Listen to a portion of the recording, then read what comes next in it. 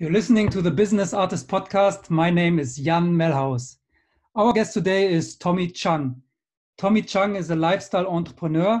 He has built up a boutique fitness company in Zurich, Switzerland, and also he has a nutrition habit program, Eat Better Not Perfect, which is running for quite some time uh, in Switzerland, but also international. Uh, Tommy is a lifestyle entrepreneur since 2013 uh, he is a very interesting person, and I want to talk to him today about uh, success habits because he's really uh, also is on the one side he's strong in implementing habits himself to reach everything he, he wants to reach, but also to train people to implement success habits.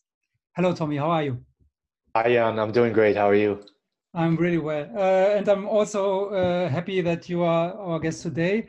Um, as I said in the in the introduction, you are um, you are very successful yourself in implementing habits. So maybe you can just uh, tell us a little bit about it.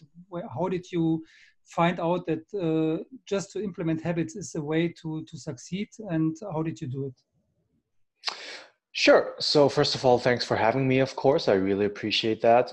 And I think mm, to to answer your question, we have to go back about maybe more than 20 years when I was uh, still a teenager. Mm-hmm. So um, I um, was very much into basketball, and that's the only thing I was doing when I was a teenager. And then one day, um, a friend, a school friend of mine, came back from one year exchange in the US. And when he left, he was very skinny and he came back uh, looking like Arnold Schwarzenegger. so um, that was my motivation to actually bulk up myself. Mm-hmm. And um, so I talked to him, and he gave me a few advices on what books to read. We became friends. Uh, before we weren't really friends, um, and then we became friends. And I started reading up on self-development books. Which books and, can you give some examples, for example? Sure. Yeah. So I think the the book that really kicked it off at that time was actually a very unknown book from a Swiss author mm-hmm. called um, The Lola Principle. That's the name of the book. Mm-hmm. And um, it's actually called L O L square A. And um, the first L stands for letting go. That's mm-hmm. one of the, that's the first main principle of the book. And um, so lo actually is in german it's like loslassen right so letting go and then we have the l square and the principle of that book is basically l square means love um, square and he basically says that love is such a powerful um, force that it, it potentiates itself multiple mm-hmm. times right so love is super powerful and um, that we need to practice love at all times etc and then the a in the lola stands for um, actio actio action equals reaction. So that's a physical physics principle of course right? So if you push against the wall with um, all your strength that same force will push back so to speak right? Mm-hmm. so what you give out into the world uh, comes back to you. Similar but maybe not the same as to like um, karma um, but you can see it in that way, right? So whatever you give out, if you give out a lot of positivity, um, you would assume that a lot of positivity positivity comes back to you in some form or another. Mm-hmm. Maybe over time, maybe not immediately, probably not immediately, but over time, if that is what you believe, then that will highly um, shape the way you live. Interesting so, that you read a book like this when you normally wanted to look like Arnold Schwarzenegger. well, I did start a training then, of course, right? So yeah. um, I thought I was fit uh, since I was playing basketball, and then I was so motivated um, that I, you know, put on my hoodie and wanted to go jogging like Rocky did. Yes. And after 100 meters of jogging in the forest, uh, I almost collapsed. and then first time I went to the gym, I could barely um, lift any weights.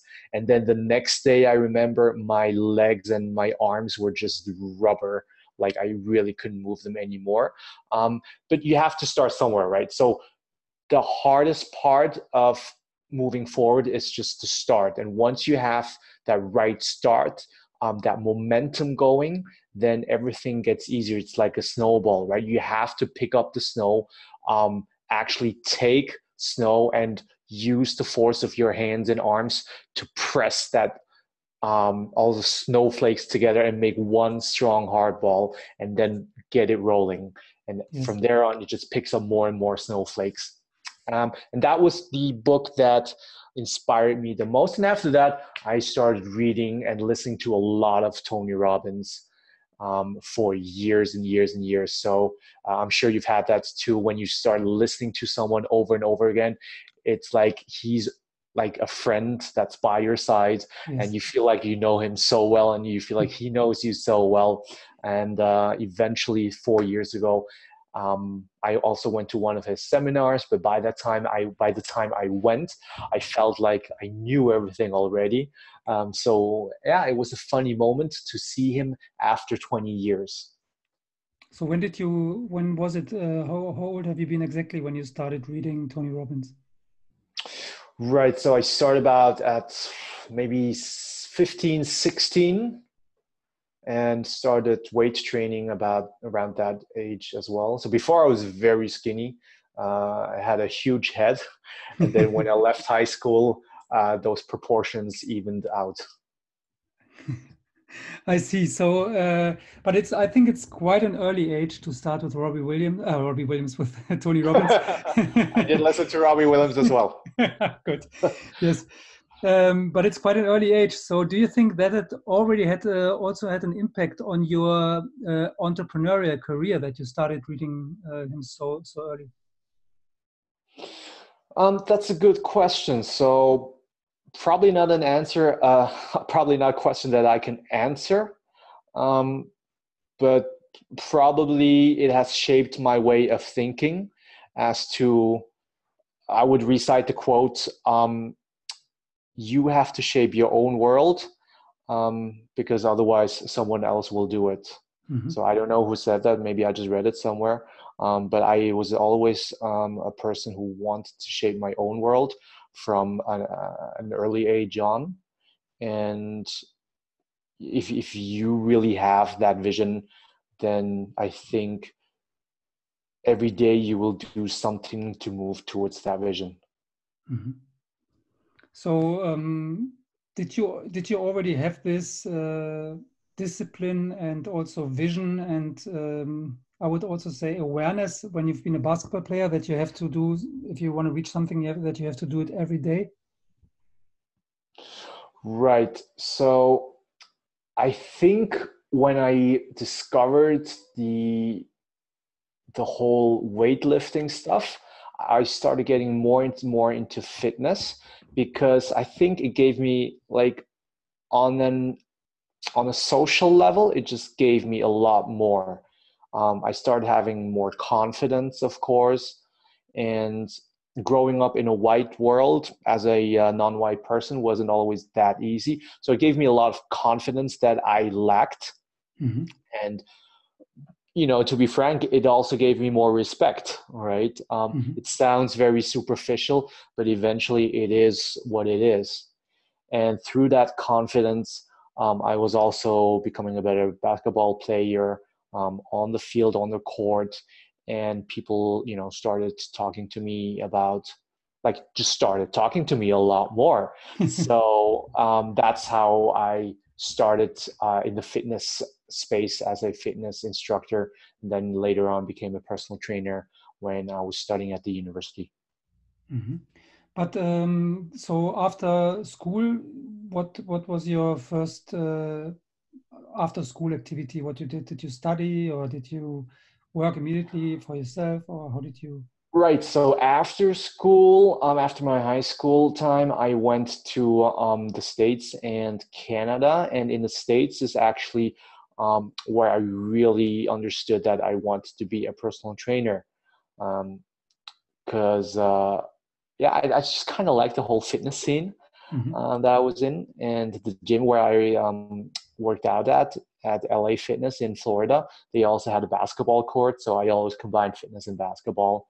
And that's when I started doing certification, and from there, more and more certifications while I was studying um, economics uh, at the university. Mm-hmm. And um, so, so, but you studied in Switzerland.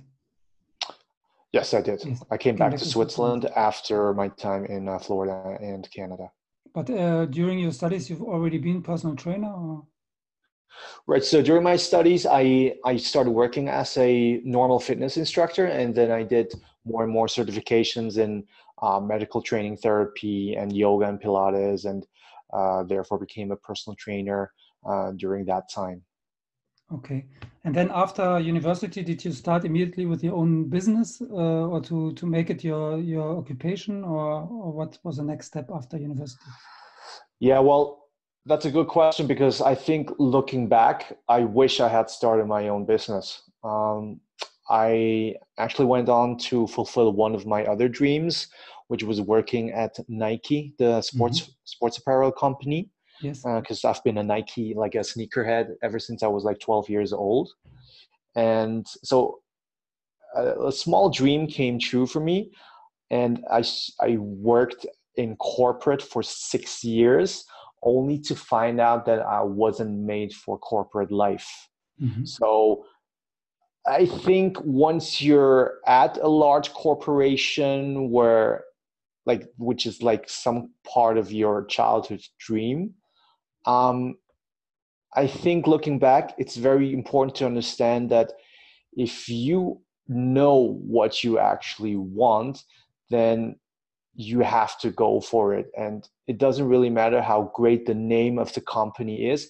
Eventually, you can only do your own thing when you don't have to work for someone else or say yes to other people's decisions that you don't agree on or don't agree with. Yes. So when you've been in corporate uh, and you you found out that definitely you want to have your own business and don't work for somebody else, did you just quit and do it, or was it a process? Or maybe can you describe a little bit this uh, transformation?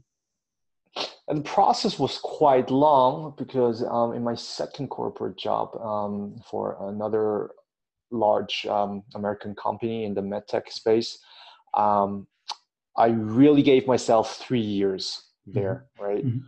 Uh, after, well, after the first, in the first year, I was still very motivated, of course. And after the first year, I knew this wasn't going to be what I wanted to do. And so I gave myself a total of three years. And why three years, Jan? Because after three years, I would have turned 31 Mm-hmm. And I just said to myself, I need to set deadlines. And either you're going to do it by 30 or you're not going to do it anymore. Mm-hmm. Um, I think, you know, you can still apply the same principle if you're 50 or 60. It really doesn't matter. But what matters is that you give yourself a deadline, right? Mm-hmm. Otherwise, you get too comfortable or you will lose time. And so I gave myself the three years. And then in the last two years of my job where I was employed, I started, you know, um, networking and investigating a lot of stuff. So I started uh, reading a lot of business opportunities and um, did some small gigs on the side where I was quite good, but I didn't really have or see a lot of potential in it to grow, or I didn't have a lot of passion for it. So I think for me to start something, it has to be like two things together, right? You have to see a potential in it, plus you have to have a lot of passion for it because otherwise I couldn't get up every day and work on it. So mm-hmm. that's super important. There are other people who would um, disagree, um, but yeah, that's that's just how I work. So passion is super important for me. And then after the three years, honestly, I had nothing. so I still quit my job because the reason I quit my job was I saved my money throughout the three years when I was there. I went for lunch, had half a chicken. Uh, and maybe a small piece of bread or whatever. And my lunch cost less than 10 francs, so less than $10, uh, while others would go out for lunch um, in a restaurant, you know. Mm-hmm. And I was always very, very strict with my um, spending habits. And that's how I saved up enough money to say, um, I'm going to go and leave this company and go, I'm going to go out on my own. I can live easily off my savings for one to two years without any problems. And once, like one month after I quit my job, um, without having another business or job, um, people already came knocking on my door, right? Because they wanted to train with me. And that's how I started. So I was self sustained from the first month on. How did they know about you that you do the training now that they can come to you? Is it, was it all word of mouth or did you do marketing or? Yeah, it was word of mouth. It was like I started giving trainings again on the side because I was so bored in my corporate job. Like mm-hmm. I was so frustrated sitting behind the desk all day and just said to myself, I need to get out. And one of my friends suggested like, um, well, one of my friend who had an, a marketing agency, we actually tried to start a startup. And eventually after like all these years uh, looking back I'm, I'm glad we didn't uh, succeed in doing that. So we were in in heavy investor talks already but um, looking back it, it was a very hard model. And then that failed at that time. So he said to me like hey you're so good at training me. Why don't you start training other people again? Mm-hmm. so i eventually did what he said to me because i think sometimes there are things that you want to do, but that doesn't really mean you're good at it, or you can just take the obvious, like do the obvious things. And the obvious things is like something that people would immediately pay you for. Yes. I understand. And so, okay. Um, and then you, so it was a very for you a very easy transition first because you had saved up money so you could be relaxed and don't have to uh, be self-sustained from the first month on. But actually you've been self-sustained from the first month on because people already knew you and uh, then word of mouth uh, hit on and uh, they talked uh, to other people so they were knocking on your door. So obviously that is kind of a dream scenario but um, you created it yourself uh, with your preparation and with your good name probably in the in as a personal trainer right well it was also timing as bill gross um, a, a, very famous um, investor and founder uh, said in one of his ted talks i believe is um, he analyzed a lot of factors of successful companies mm-hmm. and the most common denominator is always timing and at that time in 2013 um, that was when fitness was started to taking off also due to uh, instagram fame. And um, yeah it was just the right time for functional training for personal training and, and the whole fitness um, trend. So you have to consider a lot of factors you know. You have to create i think you have to create urgency. Um, you have to be in the right place uh, at the right time. Did you uh, consider these factors before? So did you do like a analysis of the market and the trends? Absolutely or? not. No, you just Absolutely went for your passion. Not. Yeah. I went for what I had been doing um, a long time ago, and honestly, fitness wasn't something that I wanted to do. I just thought, okay, this will give me some money to actually do what I want to do, which I didn't know what was what it was going to be. Um, but then more and more people came, and um, from a small personal training gig, I just started uh, boot camps and other things. So it just grew organically without actually having vision envisioned that at all. And then the nutrition habit program also um, started organically out of the fitness training because you also uh, consulted your clients in nutrition, or how did it start? Right. So one thing that's um, a limiting factor when you do fitness training is how can you reach more people, right? Mm-hmm. And we saw that through the boot camps that we did. So we run like eight week programs. more people actually come and train with us in the mornings, plus to do a nutrition program and um, personal coaching with us. And the results are tremendous. And we said to ourselves, like, um, these results, how can we achieve these results without people having to come and train with us? Because frankly, there are not that many people in the world who would like to get up at 5 a.m. and train, start training at 6 a.m. Mm-hmm. So we tested like we took our nutrition concept because everyone knows that nutrition um, makes so much of the results everyone knows that right it's not that a single person doesn't know it um, so we said how can we make the nutrition program available to everyone. So we went back to our lab and basically tested it with people who didn't train with us and retuned, like refined it and tuned it, tuned it until we had a really good program where we say, okay, this is a standalone program uh, which we've tested, and now we're official um, nutrition partner of uh, a high-profile international bank and some other companies, and we've changed uh, many many lives already. Impressive. Can you maybe give uh, some details about this nutrition program? What is it based on? What philosophy is it based on? Is it individual or is it uh, one program for everybody or how does it work? Right. So, of course, everyone has, or almost everyone has done some sort of diet, maybe, but we kind of looked at what's most relevant, right, to achieve um, sustainable results. And we didn't want to add more confusion to the whole nutrition space, which is every day, almost every day, we get bombarded with, oh, you should eat like this or you should eat like that. So the infos that one gets through social media or newsletters or spam, whatever, is very conflicting, right? Even the studies that get published are very, very um, conflicting. So we just said, what is the people's what, is, what, what are people's main problems? And let's look at that.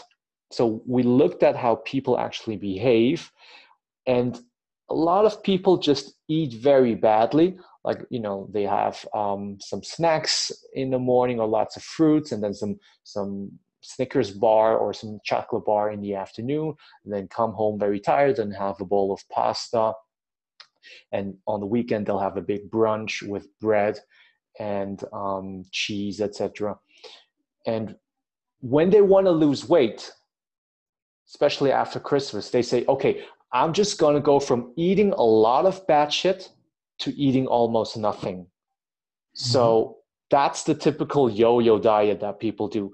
They eat a lot and or they eat a lot of bad things they want to reduce weight and they go to eating very little for instance, just some salad for lunch or in the evening. Um, so they're not feeding themselves. And what happens when they don't feed themselves properly? Their weight will at some point um, stagnate.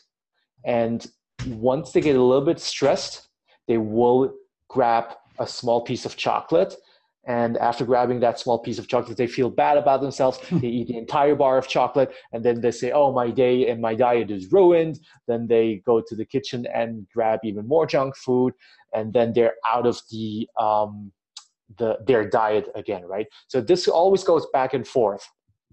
And this is what we've seen. And instead of going to going through the ups and downs we're just helping people to unfuck their diet. Because people have a very bad relationship with food instead of eating bad 100% of the time and then going to almost um, zero calories back and forth we help people to look at what matters what small things can you change in your daily routine that are sustainable and that will make a big difference mm-hmm. So for instance um, let's look at the breakfast, right? Breakfast is a very, very big topic for a lot of people. A lot of people start their day with, um, let's say, a croissant and their orange juice. You know how it is, right? People like to have their freshly squeezed orange juice and are super proud that they're drinking so much vitamin C. But you know what? A, cup of freshly squeezed orange juice contains so much sugar that people are unaware of. And what do a lot of us do? They have a large breakfast because that's what we're told as children mm-hmm. to eat a lot of carbs and sugar to have energy throughout the day. But our society looks different now. A lot of us go to the office and sit there the entire day. So for us, we're not kids anymore. We're not jumping around all day long anymore. It doesn't make sense for us to pump our bodies with all that sugar just to go to just to sit somewhere in a, a subway or a car and then get out of that car and sit in another chair and then mm-hmm. maybe eat more fruits because I have a low at 10 a.m., etc., etc. So we're looking at these small but simple things that we can change that will help improve people's um, metabolism.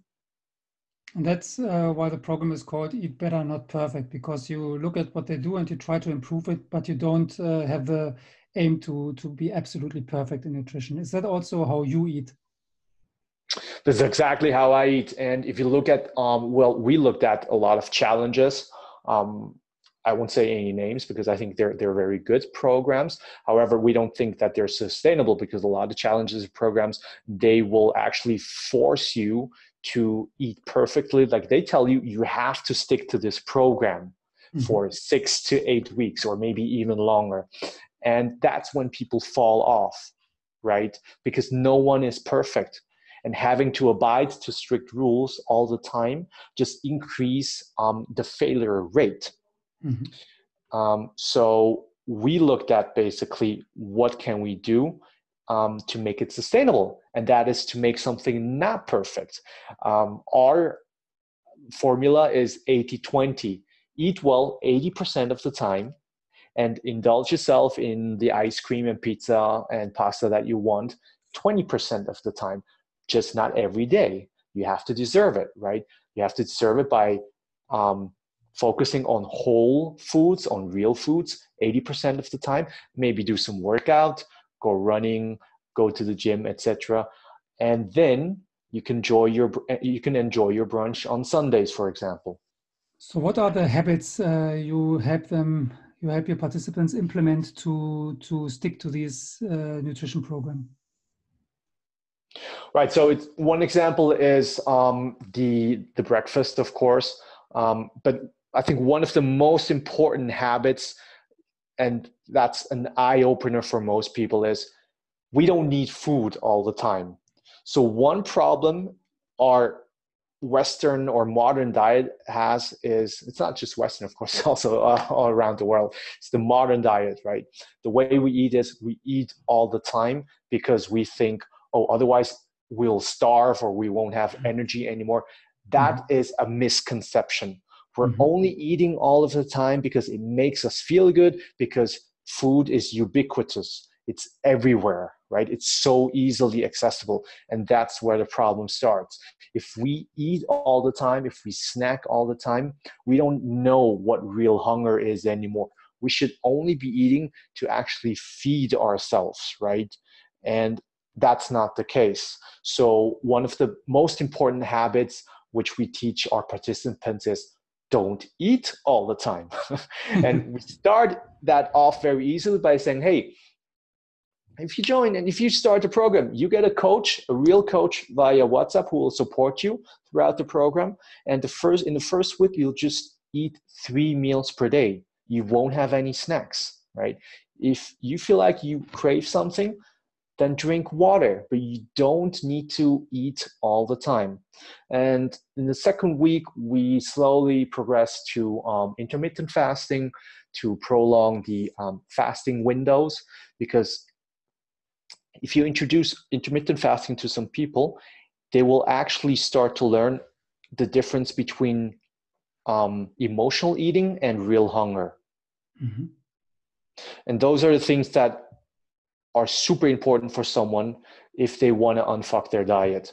They need to listen to their body. They have to understand their body better and learn how to listen to their body. And when is it actually emotional and when is when is it real? Because most of the times we're eating, it's not real. That hunger is not real. I definitely know the emotional hunger as well. Right. Yes. Um, so um, yeah, it's I like that a lot. Can you give some more examples of of habits? Yeah, sure. So um, another example of habit. Well, maybe it's not a habit, but what's super important, and what can mess um, with your appetite, is when you don't sleep enough. Right. So we have a lot of um, bankers who also participate in a program they're under a lot of uh, pressure. And then they come home maybe they have kids to t- take care of. So stress um, plays an important factor. And as you know jan uh, a lot of people speak about sleep deprivation uh, mm-hmm. uh, etc so when you don't get enough sleep and when you don't get a good night's sleep and you wake up sleep deprived or always under stress your, your stress hormone cortisol goes up and that makes you tend to grab more unhealthy foods. Why? Mm-hmm. because it triggers the reward system in our brain right? It helps us make us feel better. Mm-hmm. it soothes our emotions. Um, and that's something we really uh, look at as well. It's not about just eating better. Our coaches look at what's their participant what's the participants stress level?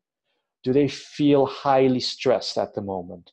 Do they get enough sleep? And if they don't they will find strategies with them to actually decrease the stress level and get more sleep. For example would it be meditation breathing or what, what are these strategies to decrease the stress level? Correct. So we have um, a lot of, or a few proven strategies that we implement or try to implement with the participants because uh, why do i say try because eventually there's only so much we can do but the participant always have to do the rest themselves of course yes. right we can only give the tools and the encouragement and this is very important to understand we have to we don't have to all in one solution that we are the facilitator. Mm-hmm. And one way we try to facilitate things is by giving examples of what people can do. And that's, as you said, doing um, a small meditation in evening. If people are not too much into meditation and woo woo stuff, uh, they can just go for a walk of course, to clear their mind. There are other ways to do it, like don't look at your phone at least one hour before going to bed. Mm-hmm. Also, decrease the blue light. Um, also, black out your your room, darken out your room, or cool the temperature down. Um, or do a journaling, right? Um, a lot of times when we cannot fall asleep, it's just because we have a lot of things on our head.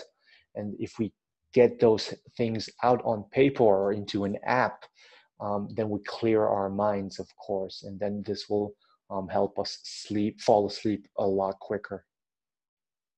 Yeah, I think uh, the things you mentioned, I probably do almost all of them. Great, fantastic. Together, and I sleep good, I have to say. but I also wake up at five o'clock in the morning, so I'm really tired in the evening and have no problems to fall asleep.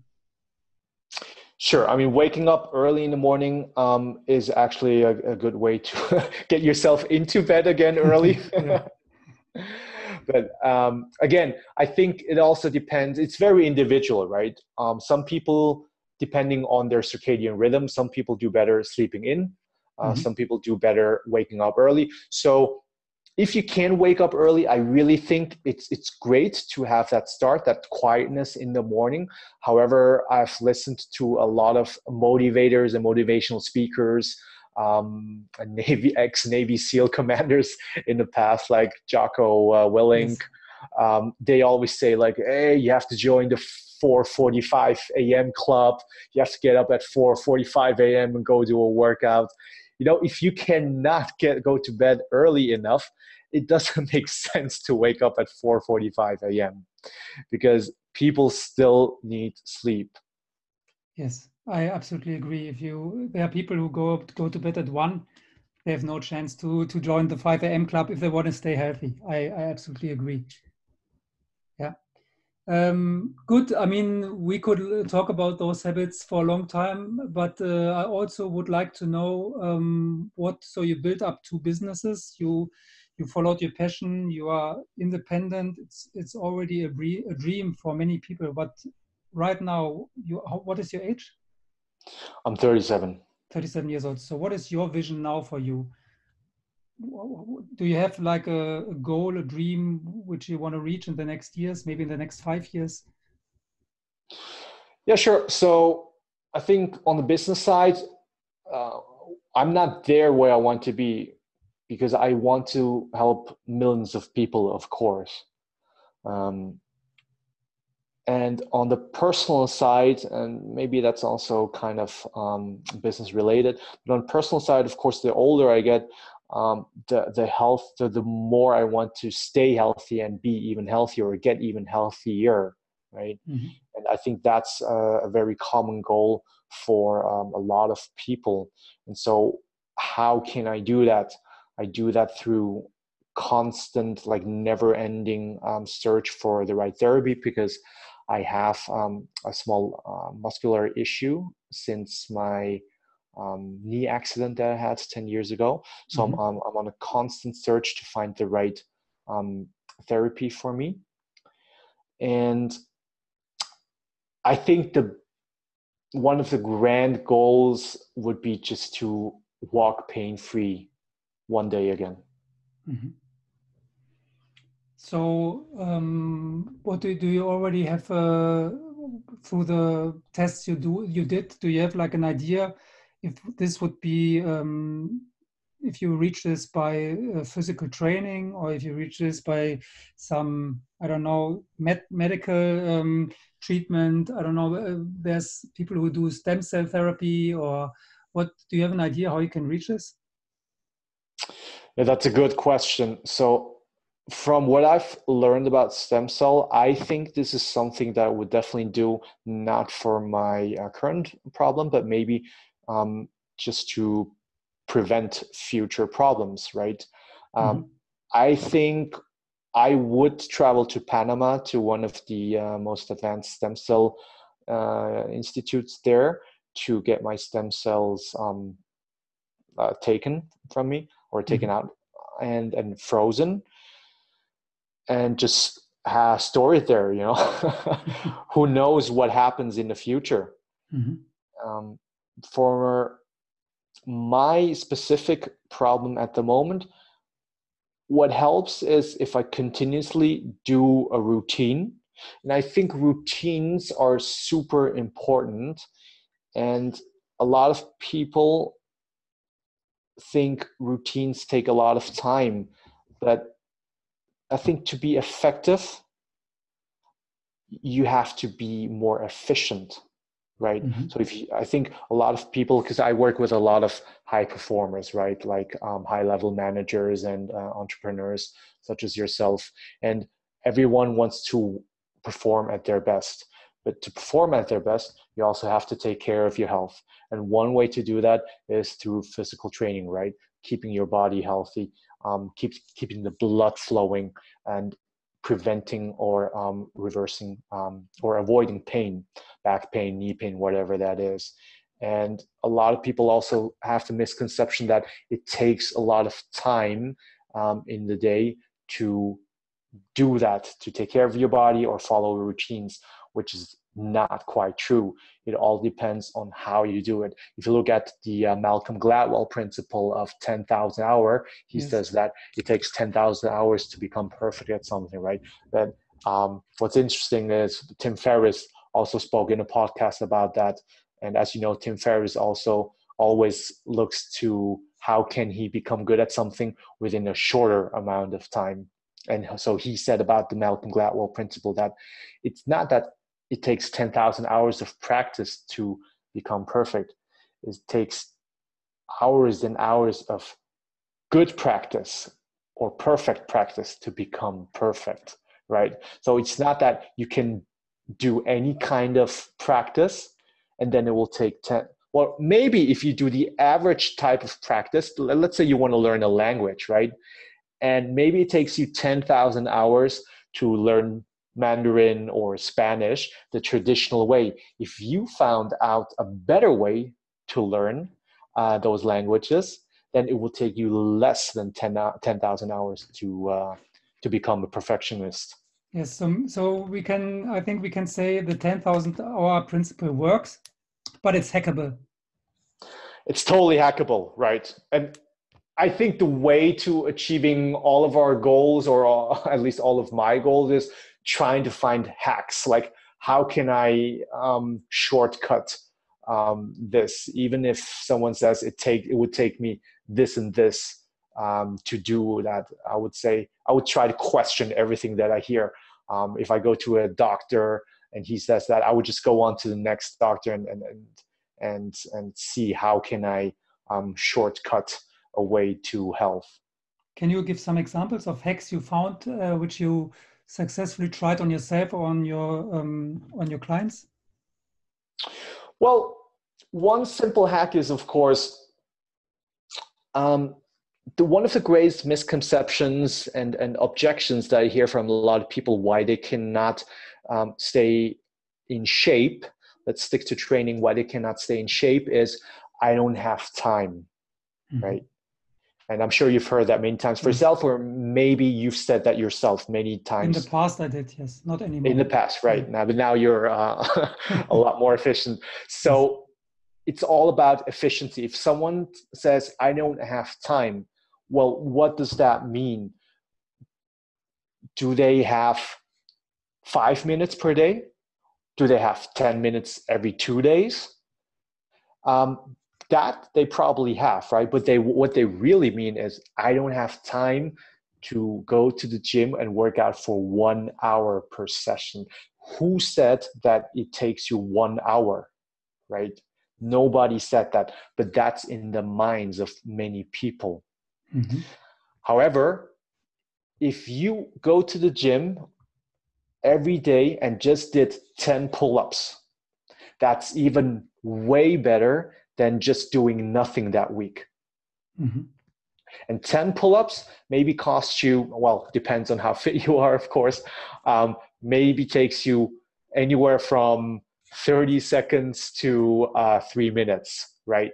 but let's say it takes one less than five minutes and five less than five minutes per day or every second day which will result in let's say you go every day uh, and do 10 pull-ups per day that's already 70 pull-ups that you did that week.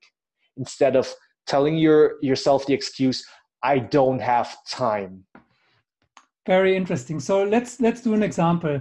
I don't know if you if it's possible but let's just try. So for the normal um, middle age um, office person um, who, who might be a bit overweight, has some back pain, uh, but not, not no huge problems. To get in real good shape, uh, physically uh, healthy, also no fat anymore on the body, um, no pain. What do you think is necessary if, if they really take a very efficient program? How, how many minutes they need per day?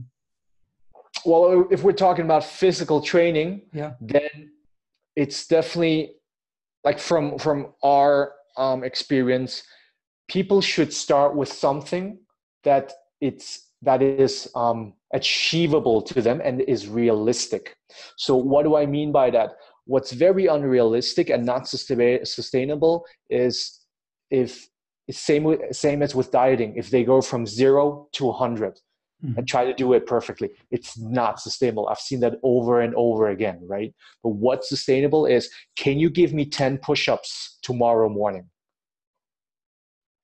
Most people will say yes, right? And once they've done that, you ask them for another 10 push ups the following day, right? Mm-hmm. And maybe every day they did 10 push ups. So maybe for that person, that person that you just described, you have to maybe it's not push-ups right maybe it's air squats or whatever you just have to find something that they are willing to um, commit to that's the first step. even even so even with a five minute uh, workout per day you could get them on the track yes because as i said in the beginning yeah. um, the start is the hardest and you have to mm-hmm. create that momentum mm-hmm. and it's hard for like it's hard to get people to to start and to create that momentum for themselves if you give them a task which is very very hard to do which takes maybe 30 to 45 minutes and you're asking them you're asking them to do that several times per week. If they're already stressed and have very little time it's very unrealistic. So set realistic um, small steps. Great. I think that was um, that was a really interesting um, talk about habits and also about your way. I would love to invite you again uh, before we we wrap this up, could you give us uh, some information where we can find you on the web, uh, on social media? If somebody's interested in your programs, how can we find you, Tommy? Sure. So you can find us at eatbetternotperfect.com, and that's also our social media handle. And for uh, trainings, it's unlimited.ch. So U N L M T D.ch. Mm-hmm. Uh, it's basically unlimited without the I, without the E. Great. And uh, so you offer um, custom made programs, individual coaching, one on one, and also, like you said, uh, cooperations with companies like, like banks, etc. Correct. So we have uh, corporate programs, we have individual programs, we have uh, group programs, and um, everything. We have great coaches. That's also very important to say, right? So uh, we really invest a lot of time in training our coaches and uh, only hiring the coaches with the right mindset. Perfect. Um, so the last thing I want to ask you is because you mentioned that when I asked you about your vision uh, for the future, that you would like to help far more people. You want to have millions, billions of people. Uh, why is that? Why? Why? What is different uh, if you uh, help ten people and make them very happy beings, or help millions of people? Well, I think if I help 10 people, it's very easy to attain uh, that goal, right? To achieve that goal. So, what happens after those 10 people? Um, but to truly answer that question, I think everyone has to first look inside themselves and ask them what gets them out of bed or what actually fulfills their heart. And one of my ways to fulfill my heart is whenever I can help someone um, or someone um, really thanks me um, for having helped them in whatever way. And this doesn't have to be a life changing um, thing. It can just be, you know, helping an, an older woman across the street, you know. Mm. But if you can, if you can make someone's day, or let's say if you can really contribute create value in someone else's life then that's the ultimate fulfilling to me. Mm-hmm. and that's why i want to have that day by day and that's how i get to the millions of people. I understand. Um, but let's say when you uh, help a woman over the street or you have your clients you work with you can see it and they can thank you personally so you get these uh, emotions from them which you just described. But when you have millions of people and there will come a time when not everybody uh, who is grateful can express this gratefulness to you because you might not even be able to read all those social media comments. Do you think there's still a way to to receive this energy back? Oh, that's a good question. I'm not a heavy social media user, and um, we have coaches, of course, who um, take care of our Eat Better Not Perfect participants. Um, but I do actually read the feedbacks on a regular basis that we get. Mm-hmm. And we also look at the before and after pictures and, and uh, talk to them personally about how their lives changed. And when, like, I don't think you need to hear each in, like individual feedbacks one by one, but just enough so that gets you going for days and days and weeks and weeks. Yeah. I, I actually thank you, Tommy, for our interview today. It gave me great insights. You actually helped me today because uh, you gave me more insights in uh, how I can improve on my daily habits and on my health. That's also a thing which I'm pursuing every day. So I thank you for that, and I thank you for giving a lot of value information, valuable information to our listeners. I'm glad I could help. Great. So thank you for this talk. Uh, I hope you will come in the future again and have a great day, Tommy. Thanks, you too, Jan. Bye-bye. Bye.